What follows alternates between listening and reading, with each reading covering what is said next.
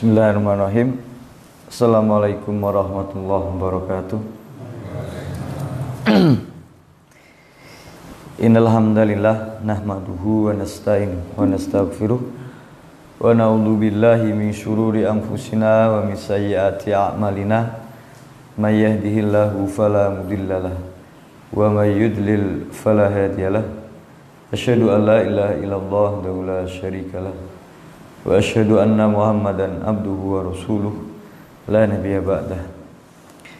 Alhamdulillah segala puji hanya bagi Allah yang telah memberikan kita nikmat hidayah, anugerahnya, inayahnya, nikmat iman, nikmat Islam, nikmat yang tidak ternilai harganya, nikmat kesehatan yang sangat-sangat berharga bagi kita, nikmat keluangan waktu dan nikmat-nikmat yang lain yang senantiasa kita dituntut untuk bersyukur kepada Allah Subhanahu wa taala dengan mewujudkannya dengan beramal eh, menjalankan segala perintahnya menjauhi segala yang dilarang oleh Allah Subhanahu wa taala. Salawat dan salam kita sampaikan kepada Nabi kita Muhammad sallallahu alaihi wasallam. Nabi kita yang mulia, manusia paling mulia yang pernah hadir di muka bumi ini. Semoga kita bisa menjadi umatnya yang dicintai oleh beliau sallallahu alaihi wasallam yang mendapat syafaat kelak di hari kiamat amin. Alhamdulillah ini adalah kelanjutan dari kajian kita yang biasa kita laksanakan di hari Rabu malam Kamis. Eh, Kajiannya sudah kita awali dari kisah-kisah para sahabat. Yang pertama kita sudah membahas tentang uh, khalifah pertama pengganti Nabi Muhammad SAW yaitu Abu Bakar As-Siddiq radhiyallahu an. Kemudian yang kedua adalah Umar bin Khattab radhiyallahu an. Dan yang ketiga sekarang yang akan kita bahas adalah Utsman bin Affan radhiyallahu anhum ajmain. Nah, Utsman bin Affan namanya adalah Utsman bin Affan bin Abil As bin Umayyah bin Abdi Syams bin Abdi Manaf bin Qusay. Maka jalur nasabnya ketemu dengan Nabi Shallallahu Alaihi Wasallam di uh, Abdu Manaf bin Qusay. Jadi dia ketemu dengan uh, kakek Nabi yang bernama Abdul Manaf. Kemudian kuniahnya, kuniah itu bapak siapa gitu.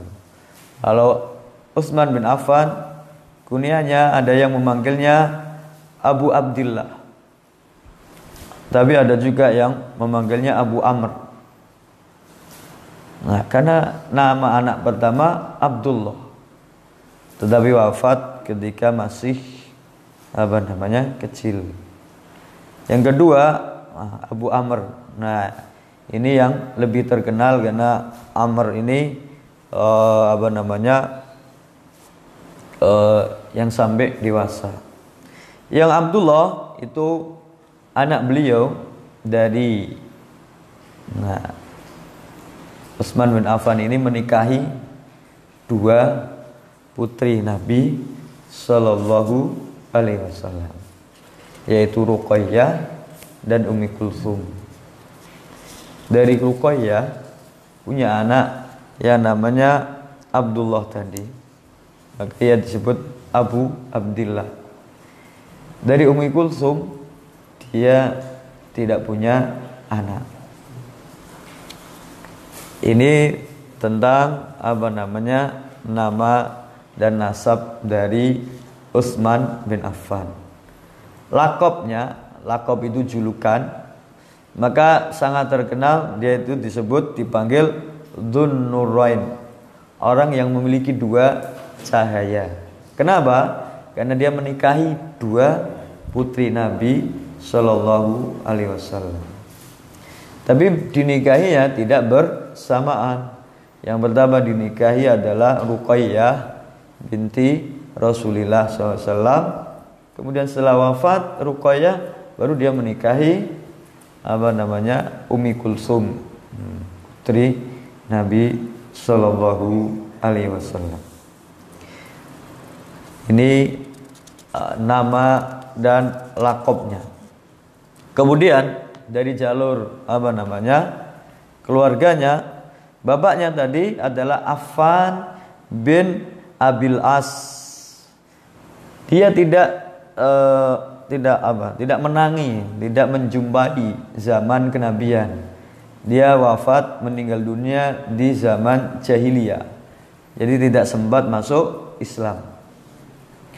Afan bin Abil As.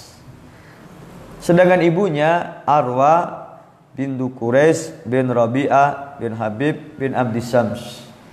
Dia beriman, masuk Islam kalau orang beriman berjumpa dengan Nabi sallallahu alaihi wasallam kemudian wafat meninggalnya dia dalam keadaan iman maka disebut sahabat sahabat Nabi karena menjumpai Nabi dan beriman kepadanya. Kalau orang menjumpai Nabi tapi tidak beriman tidak dinamakan sahabat. Kalau orang beriman tapi setelah Nabi wasallam tidak disebut sahabat. Kalau menjumpai sahabat jadi beriman setelah Nabi wafat masih ketemu dengan para sahabat Nabi. Ketemu Abu Bakar, ketemu Umar, ketemu Utsman, ketemu Ali radhiyallahu anhu ajmain, maka disebut tabi'in. Generasi setelahnya tabi'it, tabi'in. Kita itu generasi yang pelagangan. Yang sahabat dia beriman menjumpai Nabi, matinya dalam keadaan iman. Ada orang beriman pada zaman Nabi, murtad. Mati dalam keadaan murtad tidak disebut sahabat. Sahabat itu beriman di masa Nabi, ketemu Nabi, meninggalnya dalam keadaan beriman. Namanya sahabat. Maka ibunya Utsman bin Affan namanya Arwa binti Quraisy ini dia beriman berjumpa Nabi maka disebut sohabiah perempuan. Kalau laki-laki sahabat sohabi kalau perempuan sohabia karena dia beriman kepada Nabi Shallallahu Alaihi Wasallam. Kemudian apa namanya uh, neneknya dari ibu adalah Al Baida binti Abdul Muthalib.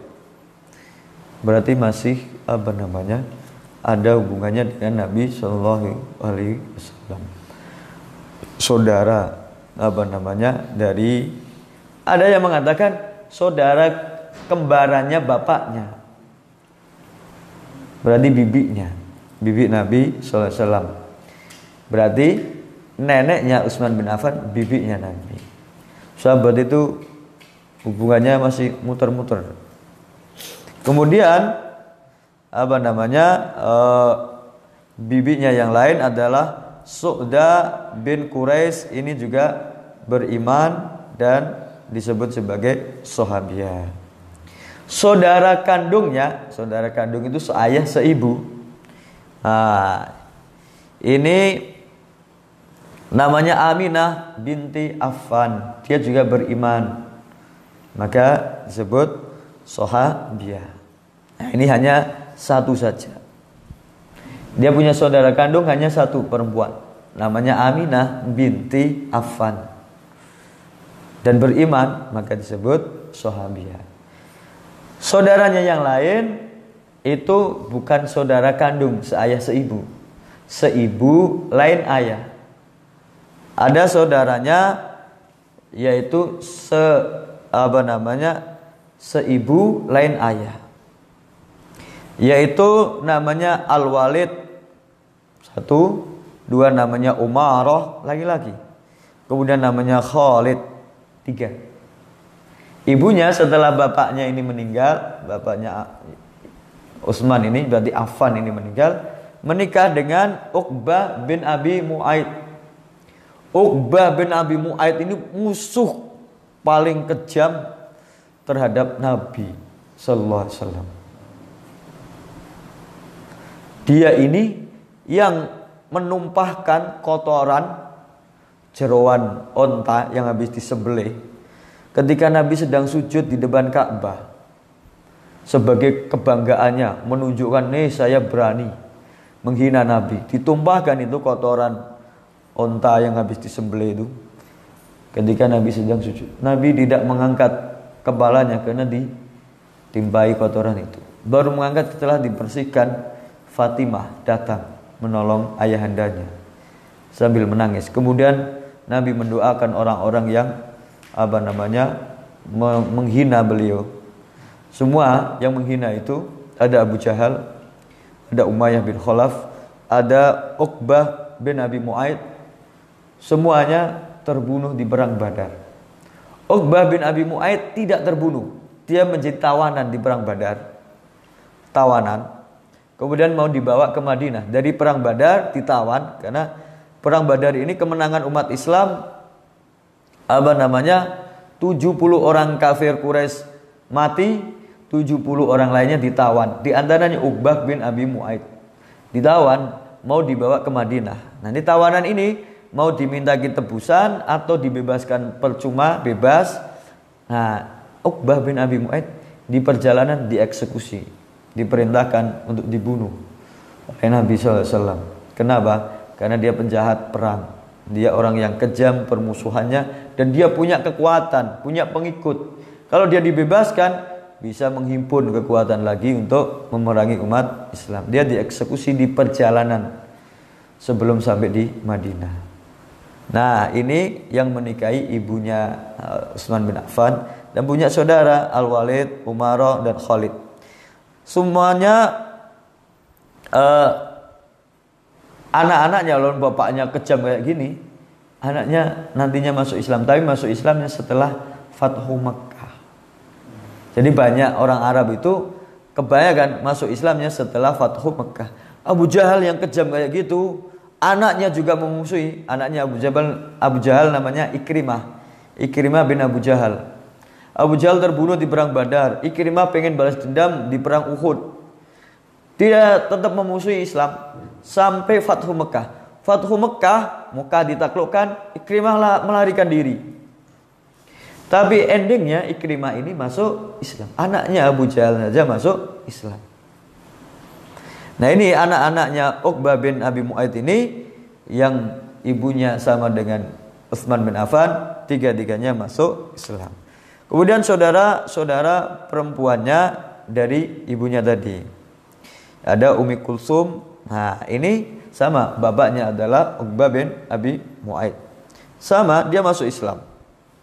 Nah, kemudian uh, ada Ummu Hakim sama anaknya Ubah ini. Kemudian Hindun pintu Uqbah. Nah, ini ada yang menyebutkan dia masuk Islam, ada yang tidak menyebutkan. Kemudian istrinya, kita sebutkan namanya dulu nanti sejarahnya kita bahas. Yang pertama adalah Ruqayyah.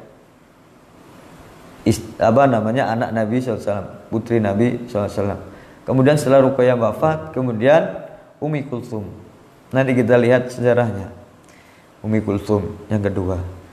Ternyata istrinya itu banyak topi berganti-ganti setelah ini meninggal atau setelah ini diceraikan baru menikah lagi.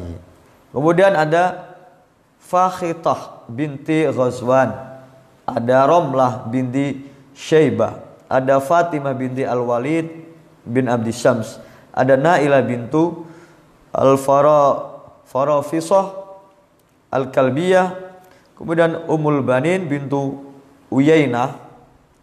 Yang kemudian Ummu Amr bintu Jundub Al-Asdiyah. Ini istri-istri yang pernah dinikahi oleh Utsman bin Affan. Kemudian anak-anaknya, anak-anaknya karena istrinya banyak itu, anaknya ada apa namanya 17. Hmm. Yang pertama adalah Abdullah Akbar, yaitu yang anaknya siapa? Ruqayyah. Wafat ketika masih kecil, umur 6 tahun. Dikemubikan wafat ketika Nabi masih hidup. Dia yang membawa ke kuburannya disertai oleh Nabi, disolati oleh Nabi Sallallahu Alaihi Wasallam. Nah ini ini hanya satu, satu ini saja dari jalur Nabi. Yang anak-anak selainnya bukan dari putri Nabi. Nanti kita lihat dari anak-anaknya Nabi SAW bersama Khadijah. Jadi anaknya Nabi SAW itu enam dari Khadijah radhiyallahu an, radhiyallahu anha. Satu dari Maria al Maria al Kiptiah, budak dari Mesir yang dinikahi oleh Nabi SAW. Yang laki-laki adalah Al-Qasim pertama. Maka Nabi SAW disebut Abul Qasim. Yang kedua Abdullah atau At-Tahir. Ini dari Khadijah radhiyallahu anha.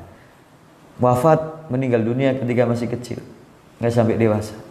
Yang laki-laki selanjutnya adalah dari Maria Al-Kiptiyah. Namanya Ibrahim. Wafat masih kecil. Jadi anaknya yang laki-laki nggak ada yang sampai dewasa. Anaknya Nabi SAW. Maka kalau dilihat nasab, ya Nabi nggak punya jalur keturunan dari jalur laki-laki. Ada jadi jalur perempuan. Yang perempuan itu empat. Paling besar namanya Zainab. Yang kedua setelahnya Zainab adalah Luqayyah tadi. Yang kedua ketiga dinikahi oleh Utsman bin Affan. Yang ketiga Umi Kulsum. Yang keempat Fatimah, ini paling kecil. Putri Nabi paling kecil Fatimah radhiyallahu anha ajmain. Nah, ini yang dinikahi Fatimah oleh Ali bin Abi Thalib. Nah, nah yang laki-laki ya satu saja itu yang dari jalur Nabi dan dia wafat di waktu kecil. Maka dari jalur Utsman nggak ada keturunan dari jalur Nabi yang punya uh, anak cucu sampai sekarang. Gak ada. Kemudian ada Abdullah lagi namanya, tapi kan lain ibunya. Sama meninggal waktu kecil. Ada Amr tadi yang sampai dewasa tabi'i berarti dia tidak menangi Nabi. Beriman, masuk Islam, kemudian apa namanya? Uh, ketemu dengan para sahabat. Nah, kemudian Aban namanya ada Said, ada Umar, ada Khalid, ada Anbasah, ada Al-Walid, ada Abdul Malik. Nah, ini semua 10 anak yang laki-laki. Yang perempuan ada Aisyah, Ummu Aban, Ummul Banin, Ummu Amr, Ummu Said, Maryam dan Maryam ini ada dua. Yang ibunya bernama Nailah satu dan ibunya yang bernama Ummu Amr. Jadi total berapa? 17. Nah, ini anak-anaknya Utsman bin Affan. Kemudian budak-budaknya yang dibebaskan. Ada Humran bin Aban, ada Abu Salih, ada Hani bin Abi Sa'id. Hani Abu Sa'id Al-Bariri, ada Muhammad bin Yusuf Al-Qurashi, ada Abdullah bin Kab Al-Himyari, ada Furuh Al-Madini, ada Badar Usman bin Usman Al-Kufi, ada Tariq bin Amr al-Makki, ada Abu Sahlah, ada Zaid bin Daroh, dan Wasan dan Zubair. Dari budak-budak ini, budak itu kan yang melayani setiap hari. Nah, dia yang meriwayatkan hadis dari Utsman bin Affan. Utsman kan apa namanya membersamai Nabi. Dia menantunya, dia sahabat, dia yang menemani Nabi.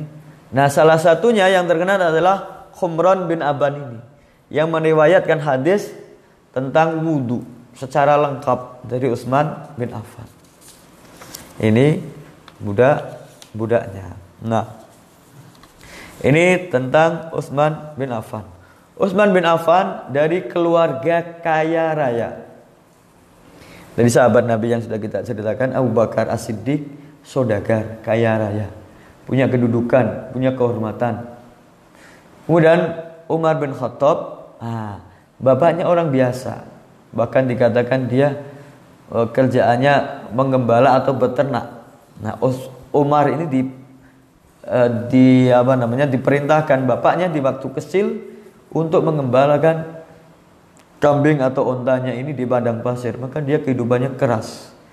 Jadi keluarganya uh, mungkin kakeknya yang agak terpandang tapi jalur, jalur bapaknya bukan kalangan yang terhormat atau kepala suku atau kabilah atau orang yang kaya raya. Nanti kita lihat efeknya.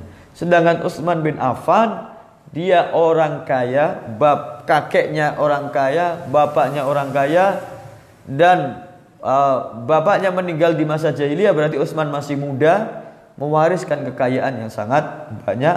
Maka Utsman mewarisi kekayaan bapaknya dan bekerja sebagai pedagang kaya raya di Mekah. Dan keluarganya terpandang keluarga pembesar, keluarga bangsawan yang terhormat. Nah, ini nanti ada efeknya ketika di apa namanya perjanjian Hudaybiyah. Nah, nanti kita sampai ke situ. Nah, ini Utsman bin Affan. Sebelum dia apa namanya uh, masuk Islam, dia saudagar yang meneruskan apa namanya bisnis bapaknya dengan kekayaan yang luar biasa dan ketika masuk Islam kekayaannya disumbangkan digunakan untuk kepentingan dakwah membela Nabi Shallallahu Alaihi Wasallam mendakwahkan Islam. Nah, kemudian bagaimana Islamnya? Utsman bin Affan termasuk orang-orang yang pertama beriman kepada Nabi SAW. Ketika Nabi SAW mendapat wahyu yang pertama yaitu surat apa namanya Iqra bismi rabbikal ladzi khalaq khalaqal insana min alaq. Surat Al-Alaq 1 sampai 5. Itu Nabi setelah menerima wahyu di Kahwira pulang ke rumah cerita kepada Khadijah kemudian dengan gemetar, dengan apa namanya ketakutan, dengan kebingungan, kegelisahan, dierdakan, dihibur oleh Khadijah. Maka manusia yang pertama beriman adalah Khadijah radhiyallahu anha. Kemudian adalah orang-orang yang di dalam rumah beliau. Ali bin Abi Thalib. Kemudian Zaid bin Haritha. Budaknya Nabi SAW yang kemudian dimerdekakan diangkat menjadi apa namanya uh, anak angkat. Berarti tiga ini satu rumah dengan Nabi. Istrinya Khadijah radhiyallahu anha, Ali bin Abi Thalib masih kecil, Zaid bin Haritha dari kalangan budak. Nah, dari kalangan laki-laki merdeka yang pertama masuk Islam Abu Bakar As-Siddiq. Empat baru empat. Utsman ini kelima. Abu Bakar setelah beriman langsung mengajak teman-temannya, kenalannya, koleganya, apa namanya rekan-rekan dagangnya yang dia anggap orang baik yang kalau dia tawari masuk Islam nggak bakal menolak. Di antaranya adalah Utsman bin Affan radhiyallahu anhu. Ini apa namanya uh, kisah masuk Islamnya mudah. Beda dengan Utsman bin Affan, dia tahun ke-6 kenabian.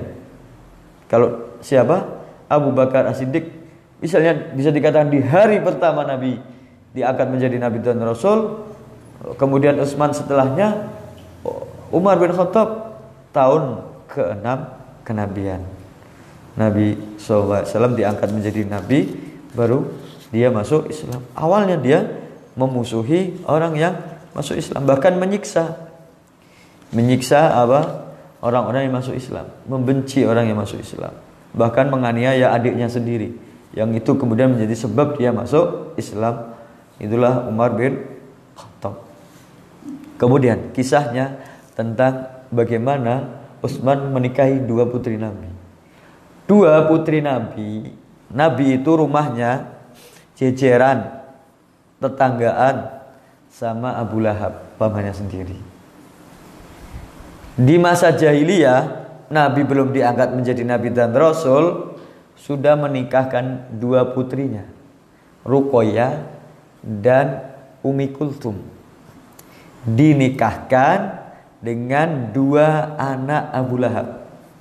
Namanya Utbah yang besar, suaminya Rukoya, Utbah bin Abi Lahab. Yang kecil suaminya Umi Kultum, Utaibah bin Abi Lahab.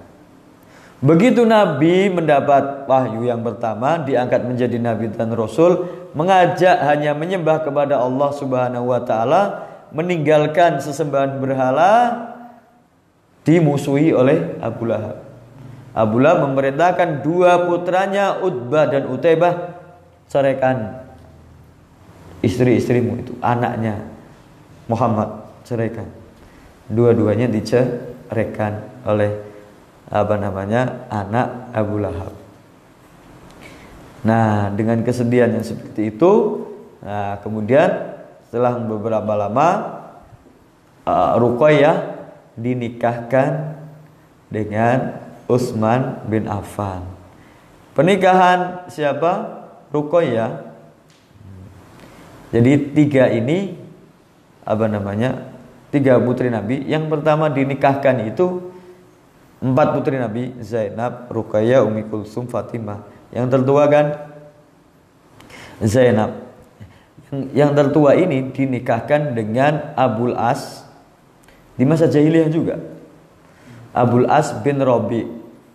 Zainab suaminya Abul As bin Robi. Nah, karena ini pernikahan pertama, Khadijah menghadiahkan kalung yang dia miliki, kalung warisan, kalung yang bagus, dia diakan kepada Zainab. Nanti ada kisahnya. Kita bahas Utsman dulu.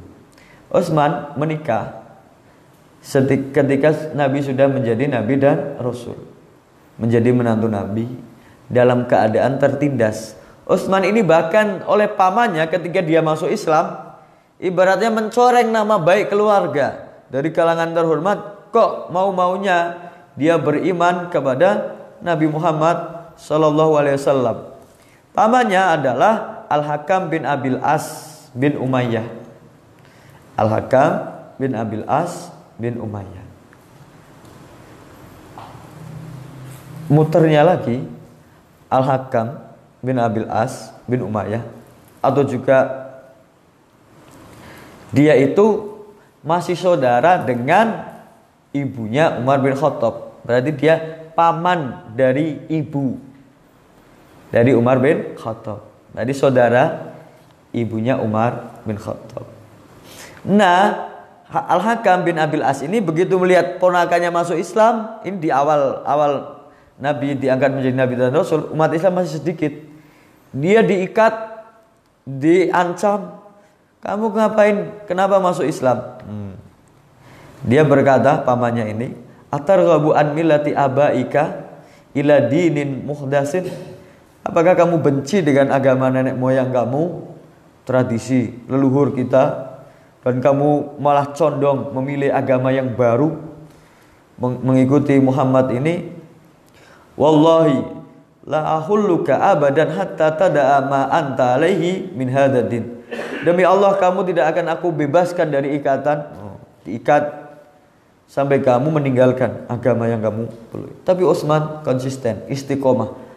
Dia apa dia apakan saja saya tetap beriman kepada Nabi Muhammad SAW, beriman kepada Allah dan Rasulnya. Karena nggak tega pamannya ini melepaskan, dilepaskan. Cerita selanjutnya, ini kan uh, pamannya Umar bin Khattab juga ketika dari jalur ibunya Umar bin Khattab. Ketika Umar masuk Islam, Umar ini kan beda dengan sahabat-sahabat yang lain. Begitu masuk Islam mengumumkan teriak-teriak di kalangan orang kafir Quraisy. Bahkan cari orang yang tukang nyebar gosip, saya sudah masuk Islam, saya mengikuti apa namanya ajarannya Nabi Muhammad SAW. Wah disebarkan. Dia dipukuli, dianiaya, balas berantem dengan orang kafir Quraisy dikeroyok habis-habisan lalu dilarai oleh Al-Hakam bin Abil As ini paman dari ibunya ini jangan ponakan saya ini. Eh, Al-Hakam ini orang terhormat. Saya yang menjamin keamanannya. Nggak boleh kalian menganiaya keponakan saya. Tapi namanya Umar nggak terima. Awalnya dia terima. Besoknya dia datangi pamannya. Paman kamu nggak usah ikut campur. Biar saya yang menanggung nasib saya sendiri. Nggak perlu saya dilindungi oleh apa namanya paman. Kalau ada yang mau menganiaya saya mau berkelahi dengan saya silakan, nggak usah apa namanya aja dengan lindungi. Udah bebas. Saya nggak mau dilindungi orang lain. Nah, apalagi orang masih kafir, nggak mau. Terang-terangan. Nah ini masih punya hubungan kerabat dengan Utsman bin Affan. Nah kemudian dinikahkan dengan apa namanya eh, putri Nabi Ruqayyah. Kemudian itu di masa apa namanya umat Nabi Muhammad ditindas, dianiaya, dizalimi, diancam, disakiti. Maka Utsman bin Affan minta eh, dan orang-orang Islam yang masih tertindas minta petunjuk kepada Nabi SAW. Kemudian disuruh hijrah yang pertama. Hijrah pertama dan kedua adalah ke Habsyah. Ada yang mengatakan Habsyah itu Ethiopia. Jadi nyebrang laut. Utsman bin Affan termasuk rombongan pertama yang hijrah. Jadi dia ikut hijrah pertama, hijrah yang ke Madinah juga ikut. Hijrah pertama yang memimpin Utsman bin Affan dengan istrinya Ruqayyah, putri Nabi SAW. Bersama 12 12 orang laki-laki, 4 perempuan.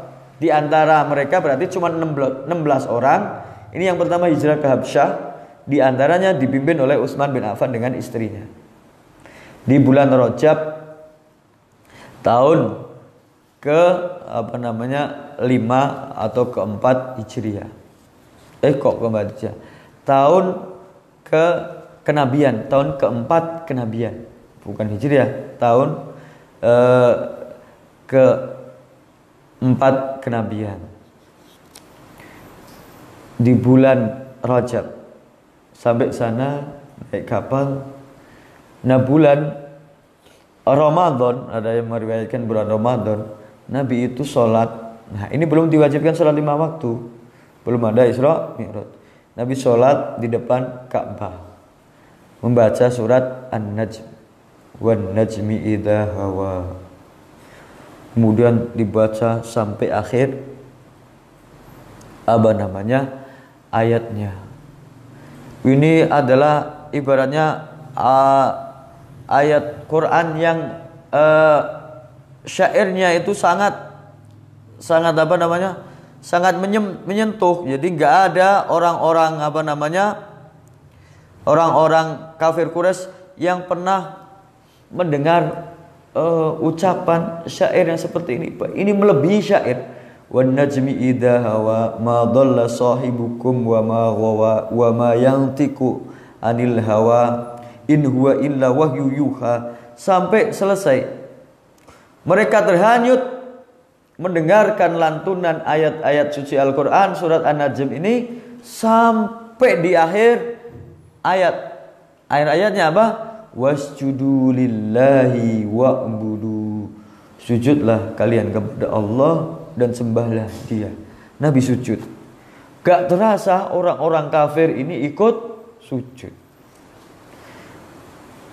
Besoknya mereka mengingkari, oh, padahal mereka tersentuh hatinya. Besoknya kami kan sujud sama berhala. Waktu itu Ka'bah itu masih dihiasi berhala sekelilingnya. Kami kan sujudnya hanya kepada berhala, nggak mengikuti Muhammad. Nah ini mungkir. Padahal mereka terbawa oleh nantunan ayat-ayat Al-Quran ini. Lah tersiar kabarnya oh, zaman dahulu hoax. Hmm. Jadi sudah ada Kesiar kabarnya bahwa semua orang di Mekah itu sujud beriman kepada Nabi. Tersiar kabar sampai ke Habsyah. Orang-orang di Habsyah di bulan Syawal pulang mengira sudah aman Mekah karena orang-orang kafir sudah pada beriman. Begitu sampai dekat Mekah ternyata kabarnya salah. Kemudian sebagian pulang lagi ke Habsyah, sebagian tetap masuk Mekah dengan sembunyi-sembunyi minta perlindungan. Kemudian terjadilah hijrah yang kedua. Hijrah yang kedua Utsman bin Affan tidak ikut. Ini 83 laki-laki, 19 perempuan. berarti 100 lebih. Hijrah yang kedua ke Habsyah lagi. Utsman tidak ikut, tetap tinggal di Mekah bersama Nabi.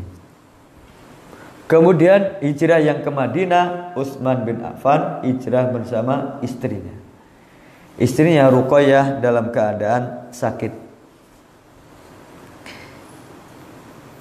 Dan apa namanya uh, tambah parah penyakitnya, ya kadang sembuh, kadang apa namanya kambuh lagi. Di perang Badar, Nabi SAW berpesan kepada Utsman bin Affan karena istrinya masih sakit, Ruqayyah. Kamu tinggal saja di Mekah, eh di Medina, tidak usah ikut perang Badar, tungguin istrimu yang sedang sakit. Kamu tetap mendapat pahala sebagaimana orang yang ikut perang Badar. Karena ini perintah dari Nabi sallallahu alaihi wasallam. Perang Badar usai 70 orang kafir mati, 70 orang ditawan, Nabi balik ke Madinah. Sebelum balik Nabi mengirim utusan dua orang yaitu Zaid bin Haritha uh, pulang untuk mengabarkan kemenangan. Begitu Zaid datang, jadi Nabi perjalanannya dengan bala tentara. Masih apa namanya uh, tiga hari di Badar. Zaid ini langsung begitu menang langsung disuruh mengabarkan ke Madinah. Zaid tiba di Madinah mengabarkan kemenangan umat Islam di perang Badar.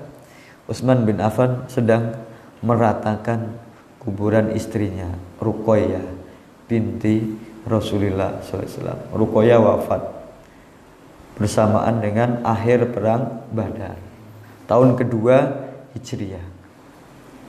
Enggak berapa lama dinikahkanlah dia. Nah tadi hanya punya anak satu yaitu namanya Zaba Abdullah tadi. Kemudian wafat juga masih kecil. Umur 6 tahun. Nabi masih hidup. Utsman bin Affan yang membawa jenazahnya. Nabi menyolati jenazahnya. Yang kedua, kemudian Utsman bin Affan menikahi Ummu Kulsum. Umi Kulsum, adiknya Ruqayyah. Dengan Umi Kulsum, Utsman bin Affan tidak mendapat keturunan. Umi Kulsum wafat tahun 9 Hijriah. Tahun 9 Hijriah. Di dua putri Nabi ini sudah kita ceritakan wafat. Putri Nabi ada empat. Sekarang kita ceritakan yang Zainab. Zainab tadi dinikahi oleh Abul As bin Robi. Abul As bin Robi masih kafir. Tapi belum ada perintah untuk memisahkan antara perempuan muslimah e, tidak belum ada larangan perempuan muslimah menikah dengan orang kafir atau ahli kitab oleh orang musyrik. Jadi ketika Nabi hijrah ke Madinah, Zainab masih bersama suaminya yang kafir, Abul As bin Robi. Ketika perang Badar, Abdul As bin Robi ikut perang bersama orang kafir Quraisy dari Mekah. Perang Badar usai, dia ditahan, ditawan jadi tawanan perang. Dimintai tebusan. Zainab mengirimkan kalung yang dihadiahi oleh Khadijah radhiyallahu anha untuk menebus suaminya tercinta Abdul As bin Robi. Nabi terenyuh, Nabi terharu, ini kalung istrinya yang tercinta, yang pengorbanannya luar biasa. Yang walaupun Nabi sudah menikah dengan banyak apa istri-istri yang lain, yang diingat selalu Khadijah. Khadijah, Khadijah. Begitu melihat kalungnya, Nabi terenyuh, Nabi terharu, Nabi nggak tega, Nabi bebaskan Abul As, menantunya ini, pulang kamu ke Mekah bebas tanpa tebusan, kembalikan kalung ini kepada Zainab putriku tapi dengan syarat kamu kirim Zainab ke Madinah. Pisah kamu dengan Zainab. Kamu masih kafir. Zainab dikirim. Tapi tidak oleh Abu As. Bahkan Nabi mengirimkan dua orang yaitu Zaid bin Harithah dan satu orang Ansor untuk mencegat di tengah perjalanan menjemputnya. Nanti dibawa ke Madinah. Nah, Abul As di Mekah mengirim istrinya dalam keadaan hamil. dalam keadaan lemah hamil naikkan onta ada kayak tendanya gitu dikiring dituntun oleh saudaranya Abul As namanya Kinanah bin Robi dituntun di siang hari dari Mekah menuju Madinah. Kelihatan konangan sama orang kafir Quraisy yang baru kalah dari perang Badar yang dendam ontanya dipanah ditombaki dilempari panah dilempari tombak. Terluka jatuh. Zainab jatuh. Apa namanya? Keguguran sakit. Lalu pulang lagi ke Mekah kemudian disarankan untuk dikirimnya malam hari maka dikirim di malam hari nggak ketahuan kafir Quraisy kemudian apa namanya sampai di tengah perjalanan dijemput oleh Zaid bin Harisah dibawa ke Madinah dalam keadaan sakit berpisah dengan suaminya Abul As bin Robi. Nah, di sini perpisahan suami istri ini.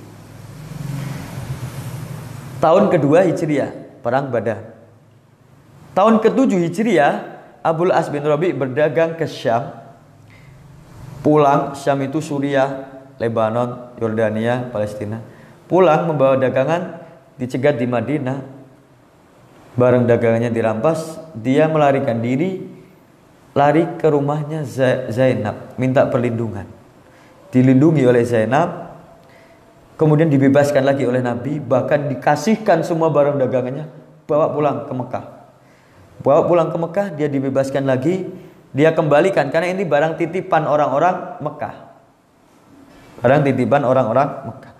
Diberikan semua kepada yang nitip, sudah selesai semua ditanyakan kepada orang Quraisy, apakah ada titipanmu yang masih ada sama saya? Gak ada. Sudah lunas semua? Lunas.